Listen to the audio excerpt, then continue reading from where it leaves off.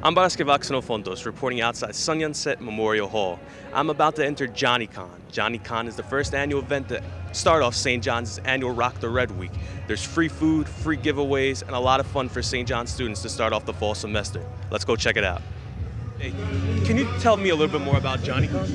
JohnnyCon is kind of like uh, a get together for St. John students where um, it's all free. So there's giveaways, there's free food.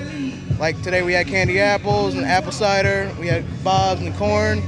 All the things that kind of signify fall. Something like bringing the month of October for St. John students. What was your favorite part about JohnnyCon today?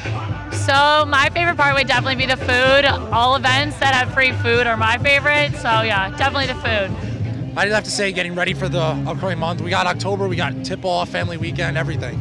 You looking forward to this uh, year's upcoming basketball team and tip-off next week? Very much so. I'm always excited for tip-off, one of the best times of the year. Will I be attending tip-off? What kind of question is that? Of course I will be. I'm going to make a three-peat, third year going to tip-off. Did you take part in JohnnyCon? Did you work here? Yes, uh, I was handing out kebabs to people, so if you was getting food, you probably saw me.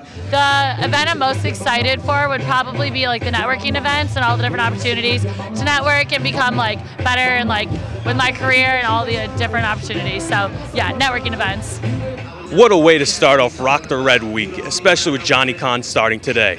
We got Family Weekend coming up, iHeart SJU next Thursday, and most importantly, tip-off to start off the basketball season.